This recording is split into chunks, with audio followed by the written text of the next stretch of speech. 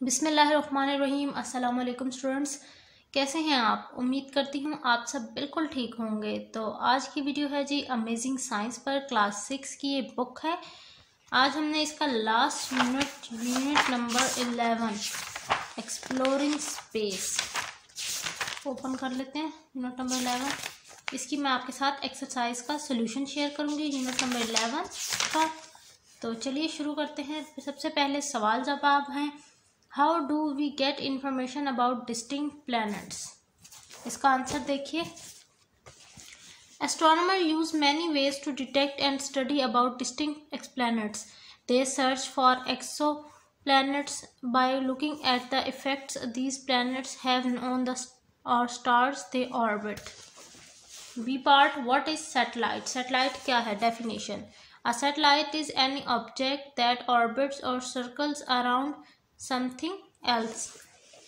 See, what are artificial satellites? How do they move in space? An artificial satellite is a satellite that uh, is put into the orbit by man. The motion of a satellite or space stationary is directly related to the Earth's gravity. Question number D. What? Uh, when was the first uh, man-made satellite launched? What was it called?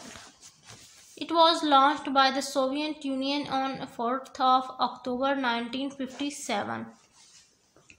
What are the two types of satellite orbit that gives us useful information about the Earth? Polar orbit और geostationary orbit. अगला है match the column आपने object को उसकी description के साथ attach करना पहला है navigation satellite transmits data to ships and aircraft to locate their position. Communication satellite relay telephone messages radio and tv signal. Astronomical uh, satellite designed to study heavily bodies.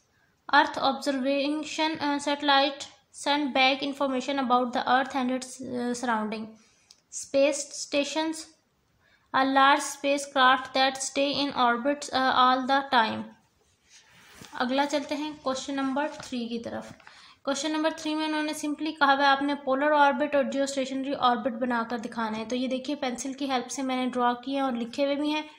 इसमें polar orbit और इसमें geostationary orbit अब हम question number four की तरफ़ चलते हैं। What is GPS and what is the function of GPS GPS is a space-based global navigation system that provides reliable location and time information in all kinds of weather at uh, and at all time anywhere anywhere on and near earth.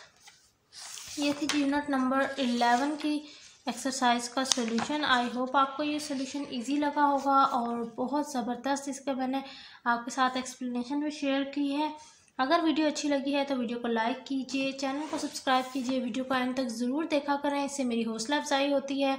In next video में मुलाकात होगी। अल्लाह हाफिज़।